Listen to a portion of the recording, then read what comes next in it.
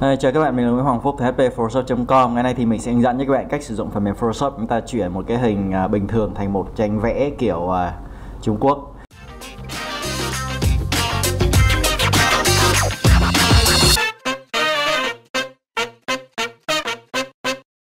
Rồi ok, thì đây, à, đầu tiên chúng ta có cái stock này ha. Cái stock này các bạn có thể tải ở cái link mà mình add ở phần dưới dưới cái phần description, phần mô tả video này á à, hoặc là phần comment thì các bạn sẽ thấy cái link đó thì các bạn sẽ vô đó các bạn tìm cái stock này nha à, rồi à, đầu tiên cái hình này. Mình mới resize cái hình này lại xuống uh, cái long edge tức là cái cạnh dài nhất mình để xuống 2048 và resolution là 72 để cho nó dễ thao tác và nó cũng nhanh máy hơn máy mình hơi củ bắp cho nên là có thể những cái phần render nó hơi chậm. Ok ha đầu tiên chúng ta có cái hình này. Nó bấm cần Ctrl J hoặc là bấm uh, bấm chuột phải chọn WK nói chung là để nhân đôi cái layer này lên. Rồi ở layer này á cái mấu chốt của cái việc là chúng ta chuyển cái hình bình thường này thành cái hình tranh vẽ là nó phải hơi ờ, bệt bẹp chút xíu. Cho nên là cái cách để chúng ta làm bệt không phải là Gaussian blur à, tại vì blur thì nó làm mờ hết đi. Cho nên là cái cách tốt nhất là chúng ta sử dụng cái công cụ khử noise. À, nghe nó hơi kỳ kỳ nhưng mà làm thử sẽ biết thôi. Rồi vào filter ha. Vào uh, noise chọn là reduce noise tức là giảm noise đi đó. Đây cái reduce noise đây các bạn thể thấy là mình đang chỉnh tất cả là trend tức là độ mạnh á, mình để lên là 10 uh, à, maximum luôn cái uh, lấy lại chi tiết với lại uh, color màu sắc này nọ đó mình để là không phần trăm hết. Ok ha. Nói chung là 10 không không không. Cái này là công thức chung. Mình hiếm khi nào xài công thức chung nhưng mà đây là có. Rồi đây uh, mình mới làm một lần thôi. Thì uh, để cho nó làm tốt hơn nhìn nó ảo hơn nữa thì mình cứ làm lại vài lần nữa. À, nhưng mà cách nhanh nhất á các bạn vào filter các bạn thể thấy là nó cái nó lưu lại cái bước cuối cùng. Ta để ở phía trên cùng này cần Ctrl F. Đây cách nhanh nhất bấm cần Ctrl F vài lần đấy ví dụ mình đây là mình bấm ờ, ba uh, lần các bạn sẽ thấy là cái hình chúng ta nó nó hư cấu lên rồi nhìn nó ảo ảo hơn rồi. Ok ha thì đây chúng ta có cái bước sơ bộ. Rồi đầu tiên là chúng ta sẽ ờ, làm những cái bước như sau. À, đó là phần mắt này phần môi những cái phần viền. Chúng ta có cái chúng ta thêm cái đường trắng trắng vô đó và tóc và những cái phần chi tiết bên ngoài. Ở những phần chi tiết bên ngoài mình nói luôn là các bạn có thể tách nền uh, người mẫu ra trước tách nền ra trước rồi sau đó các bạn uh, tô một cái nền mà bằng uh, uh, bằng gradient á chúng ta tạo nhiều cái màu thì có thể là nó sẽ à, nhìn nó ảo hơn nhưng mà đây mình bỏ qua bước đấy. Ok ha. Đầu tiên chúng ta cứ đi theo cái môi trước môi này. À, mình sẽ tạm thời tách cái phần môi này ra. À, à không phải tách ý là mình sẽ làm cho nó đậm màu hơn tại vì à, nhìn cho nó giống tranh vẽ mà thì mình sẽ ơi cái gì này, cứ sử dụng mình đang sử dụng cái lasso tool rất là bình thường thôi không cần phải dùng pen tool cái gì chỗ này cả. Ok ha rồi bấm chuột phải này chọn feeder. Mình để đây feeder là khoảng cỡ hai ba ba phần trăm à, ba pixel. Ok ha thì đây mình sẽ à, có cái này. Mình sẽ vào uh, đầu này image adjustment layer uh, mình sẽ chọn là hue saturation. Đây mình sẽ tăng cái saturation lên một chút xíu để cho nó đậm màu lên. Rồi bỏ bỏ đi. À, bấm chuột phải deselect hoặc bấm Ctrl D. Rồi đấy có thể thấy là cái môi chúng ta đã nó đã lên như thế này. Cái bước tiếp theo là chúng ta sẽ à, là có thể là chúng ta sẽ lấy phần mắt ra trước. Ok chúng ta cũng sử dụng cái lasso tool thôi lasso tool công cụ rất bình thường. Ta click à, bắt đầu vẽ cái phần mắt. À, cứ bôi ra cái phần mắt hơi hơi chút xíu thôi hơi ra ngoài chút không sao đâu. À, để chọn phần bên này xong đúng không? Tiếp tục chọn bên này đè phím shift. Đè phím shift xong click. À, chúng ta cứ chọn tiếp phần bên này để nó cộng dồn thêm vào. Rồi chúng ta bấm chuột phải chọn feeder cũng để là ba y chang như hồi nãy và ở đây ở cái background nha nhớ là background nha bấm Ctrl J uh, Ctrl J. Đó đưa lên trên. Ctrl J chữ J là cái chữ mà nằm giữa chữ H với chữ K trên bàn phím ấy nha. Nhiều khi có nhiều bạn cứ hỏi là cái Ctrl J là cái, cái, cái phím gì. Rồi ok đây tạm thời mình đã xong các bạn thể thấy là tương đối nào ảo. Đây có bước đầu. Rồi đầu tiếp theo nữa là chúng ta sẽ dot and burn tức là chúng ta đánh khối để mà nhìn cho nó ảo hơn. À, đầu tiên thì có thể là mình sẽ làm cho nó sáng sáng lên chút xíu à, vào uh, level đi thì mình sẽ tăng uh, sáng lên một chút xíu nhìn cho nó hơi bệt bệt chứ nó không có contrast cao quá nó không có đẹp lắm. Nó, nó hơi mình kéo cái phần uh, mid tone này mình giảm xuống chút xíu để mình tăng cái sáng lên. Rồi tiếp theo là chúng ta sẽ tạo một cái lớp um, dot and burn. Ta sẽ tạo layer mới bằng cách bấm vào đây hoặc là Ctrl Shift N. Ok thì ở layer này thì mình sẽ fill nó màu xám 50% bằng cách là Shift F5 hoặc các bạn vào uh, Edit này chọn fill. Đó Shift F5 edit fill. Ở đây các bạn sẽ cái content đó các bạn chọn là 50% gray tức là 50% xám đó. Là click ok nó ra cái nó có sẽ có một cái layer xám như thế này. Thì các bạn sẽ chuyển nó sang là soft Softline hoặc Overlay. Ở đây mình sẽ sử dụng soft Softline tiếp theo các bạn sẽ sử dụng cái công cụ Dot and Burn. Dot tức là làm sáng. Chúng ta sẽ làm sáng những cái vùng này lên.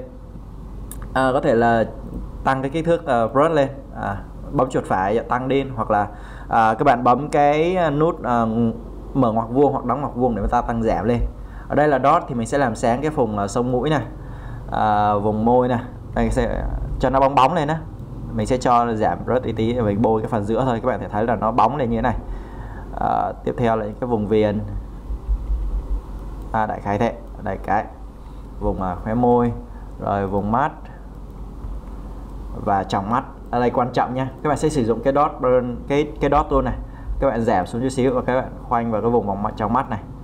Đó nhẹ nhẹ vài cái xong cái bôi bôi mạnh mạnh vào một số vùng đấy để làm cho nó dạng như là nó, nó trong veo hơn ha. Đó, tương tự với mắt bên này.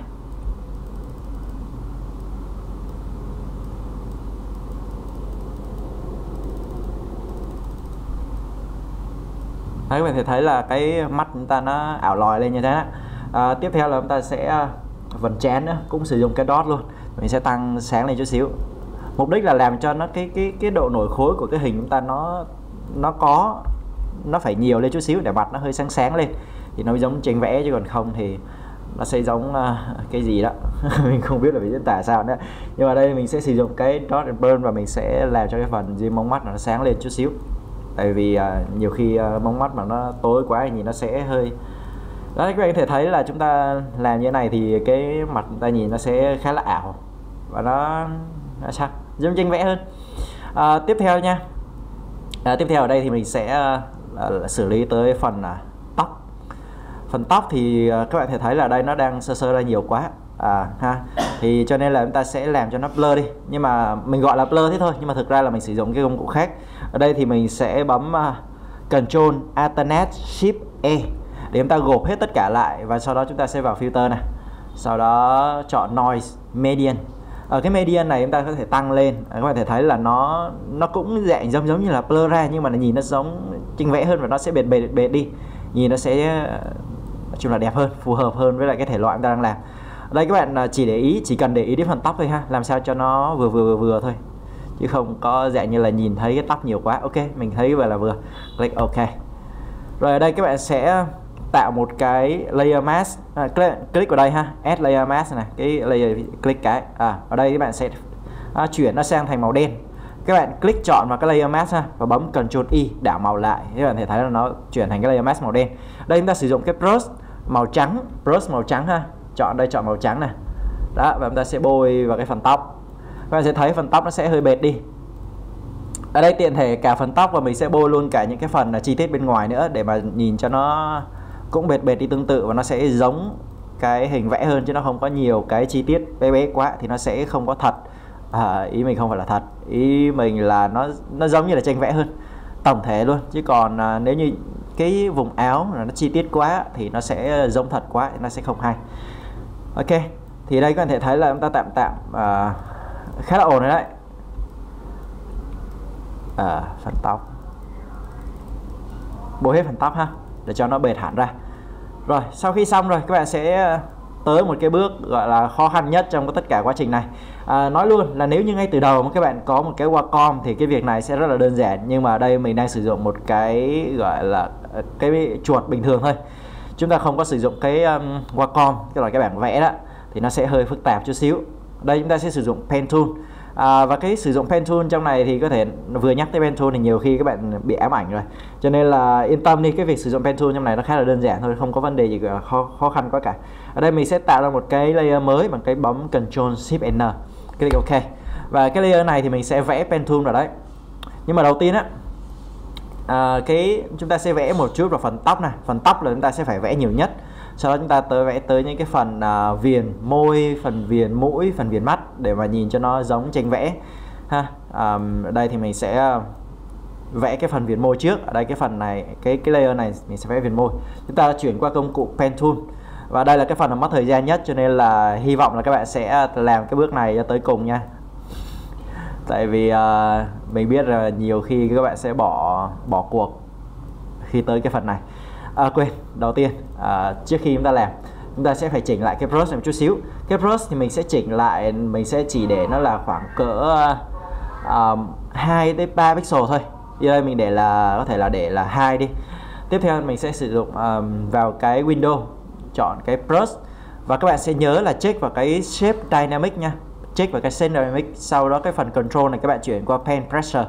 Uh, mọi thứ còn lại cứ để mặc định 0% thôi. Tạm thời như thế tiếp theo thì chúng ta sẽ sử dụng cái pen tool. À, pen tool đây mình nhớ tạo ra một cái layer mới trước ha. Tạo layer mới trước. Chúng ta sẽ click chúng ta vẽ theo cái viền. Này click kéo lên. À, đây mình nha click cái. Xong cái giữ chuột như vậy kéo lên. Đưa đây click cái. Kéo chuột ngang một chút xíu tại vì mình muốn nó đi ngang mà. À, click phía dưới này kéo ngang ra cái. Click phía trên này kéo ngang ra cái. Cái phía dưới. Đọc xuống chút xíu. À, đại khái là thế à, đó là cái cách làm. Nhưng mà mình muốn làm cho nó tinh tế một chút xíu cho nên là mình sẽ chỉ có làm nó à, bé bé thôi chứ nó không có to quá như hồi nãy ví dụ như là uh, như này chẳng hạn. Rồi bấm chuột phải. Sau khi các bạn vẽ pad như vậy xong ha chúng ta bấm chuột phải này chọn stroke pad. Và đây các bạn sử dụng là cái brush ha brush và nhớ check vào cái simulate pressure. Click đây, ok đó các bạn thấy. À, đây mình quên chỉnh cái màu. Các bạn nhớ là chỉnh cái màu ra màu trắng trước nhé ở đây mình sẽ ờ, Ctrl Z lại và mình sẽ bấm chuột phải chọn trackpad à, ok. Đó các bạn sẽ thấy là chúng ta có cái uh, viền màu trắng các bạn bấm chuột phải chọn delete pad. Ok tương tự với lại những cái viền ở phía dưới. Đó, đó bấm click giữ chuột là kéo ra. À, chúng ta qua bên này click giữ chuột kéo ra. Đó thì nó sẽ cong cong như thế. Bấm chuột phải chọn trackpad chọn ok. Delete pad đó tương tự như vậy những cái viền khác ví dụ như là viền mũi chẳng hạn thế phím tắt của cái pen là chữ P. À, ok ha là cứ ờ, uh, viền đã bấm chuột phải chọn trackpad ok delete. Đó tương tự thế.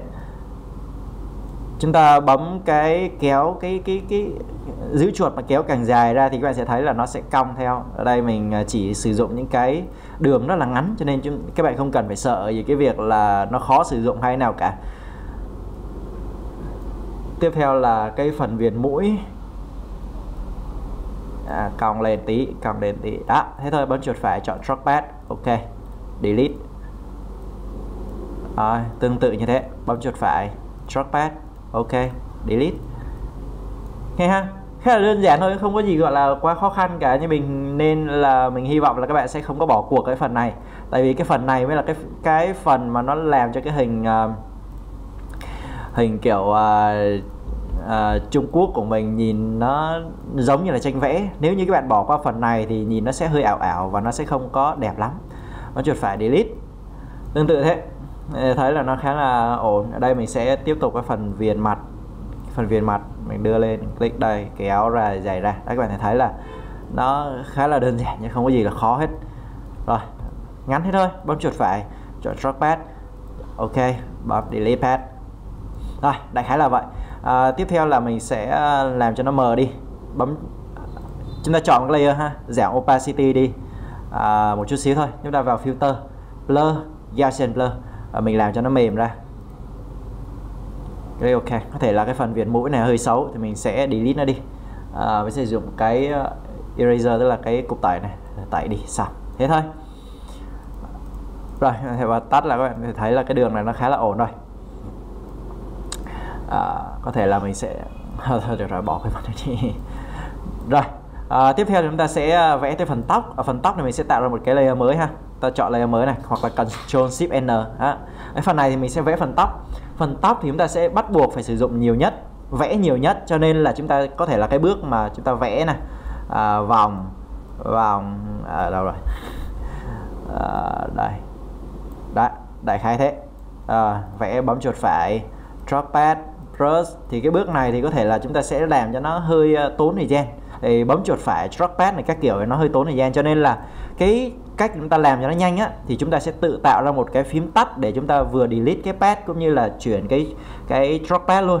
Thì cái cách chúng ta tạo cái um, uh, phím tắt như vậy các bạn sẽ vào edit này chọn keyboard shortcut thì các bạn phải bấm là alternate shift control k rồi vào edit uh, keyboard shortcut đi.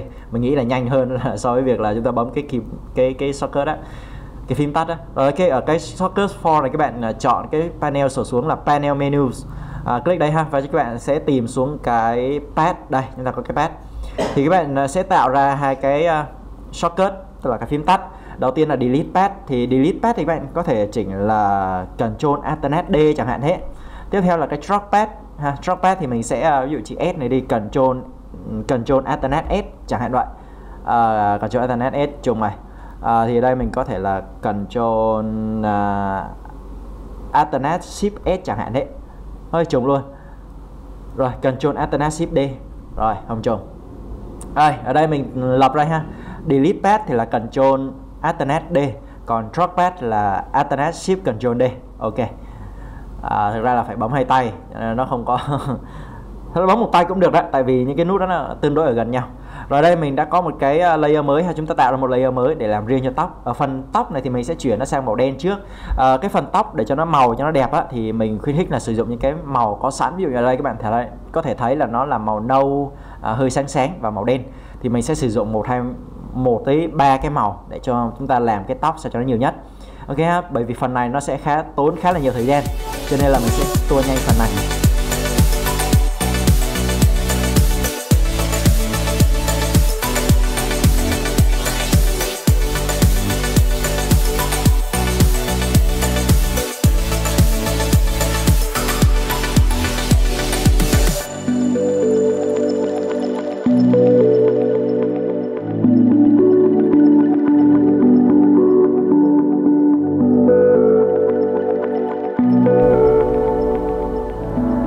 Rồi, giờ đây là mình đã tạo ra ba cái layer và ba cái layer này là ba lớp tóc mà mình đã vẽ. Thì đây các bạn thể thấy là chúng ta vẽ càng nhiều cái đường pad càng nhiều cái tóc thì nhìn nó càng đẹp. Đây một cái là mình à, tạo tóc là màu đen một cái là màu uh, nâu mà nó hơi sáng và tiếp theo là một cái màu trắng thì vài cộng thôi. Đấy, các bạn thể thấy là chúng ta tạo càng nhiều thì nó càng đẹp. Thì đây cái cái những cái tóc này á chúng ta sẽ xử lý một chút.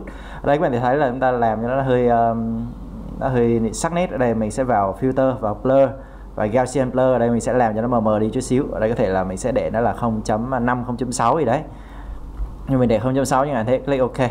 Thì tương tự với những thằng này mình cũng sẽ làm cho nó mờ mờ đi filter Gaussian blur đó, cũng xài lại cái công, cái cái chỉ số cũ như hồi nãy mình đã có đề cập và filter Gaussian blur ở đây các bạn thể thấy là chúng ta tạm thời coi như là ổn với ba cái này. Có thể là những cái này mình sẽ giảm opacity đi chút xíu giảm cái màu đen đi chút xíu cái màu uh, vàng để ok. Thế đơn giản hết rồi thì đây các bạn thể thấy là chúng ta đã làm uh, khá là tốt khá là ổn với những khu vực này. À, tiếp theo là chúng ta sẽ làm một cái à, một số cái bước cuối cùng. Chúng ta làm cho nó hơi uh, lên cái lấy cái nét lại chút xíu bạn thể thấy nó hơi bệt quá. Thì bạn sẽ uh, chọn lại cái background ha bấm cần Ctrl chơi đến chúng ta sẽ đưa nó lên trên cùng.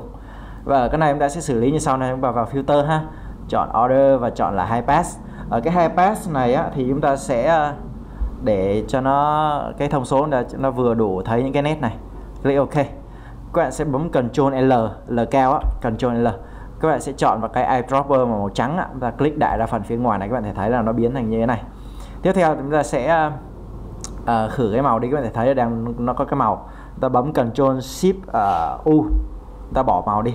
Và chúng ta chỉnh nó là multiply các bạn thấy nó lên kiểu nét như thế này nó sẽ ờ, ở một số trường hợp khi nó nó, nó, nét thì nó sẽ đẹp hơn nhưng mà ở đây mình cảm thấy nó hơi uh, uh, xấu.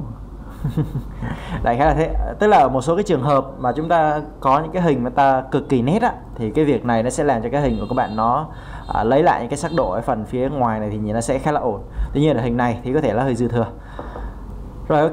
Tiếp theo là mình sẽ phủ nó lên một cái lớp màu. Ha mình sẽ bấm ờ, vào cái new adjustment layer này và chọn là gradient. Ở cái gradient này thì mình sẽ chọn một cái màu. Ờ, các bạn sẽ bấm vào đây và chúng ta chọn những cái, uh, cái pastel này. Bấm append thì nó sẽ mở rộng ra phía dưới. Thì các bạn sẽ chọn cái màu nào các bạn thích. Ví dụ như đây mình sẽ chọn cái màu uh, màu này chẳng hạn thế. Ở đây mình sẽ chuyển nó qua hơi đỏ đỏ màu tím tím. Thế ok. Ở đây mình sẽ chỉnh cái góc nó lại. À, kiểu như thế. Ok. À, chúng ta sẽ bấm chọn là Sublight Sublight xong ta sẽ giảm opacity đi chút xíu. Rồi. Thì à, cơ bản chúng ta đã hoàn thành xong. Ở những cái bước này các bạn có thể thêm à, một số cái chi tiết khác các bạn muốn. Tuy nhiên là à, ví dụ như là cái à, bokeh chẳng hạn hết hay là những cái xóa phông màu mè hay là những cái đường hoa văn gì đó tùy các bạn chữ chẳng hạn vậy rồi cảm ơn các bạn đã theo dõi tôi này. Đừng quên bấm like subscribe và share giúp mình cái tutorial này nha. Và, và hẹn gặp lại các bạn vào cái tutorial sau. Bye bye.